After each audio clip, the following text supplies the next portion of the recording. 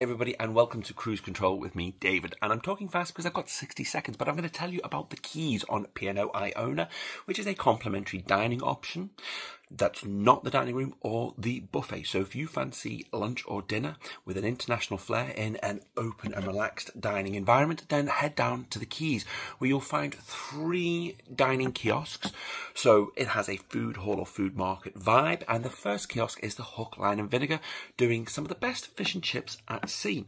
The second option is Fusion, which is Asian food. So you can pick up a masaman curry, a tofu curry or a chicken katsu curry if you fancy it. And the third option is the American Boardwalk or Boardwalk Diner, and that serves American fare with fries, burgers, and chicken burgers. So, if you're looking for somewhere nice and relaxed to go and have your lunch or dinner, then please head down to the Quays and give them a whirl. Please also note they're open for breakfast.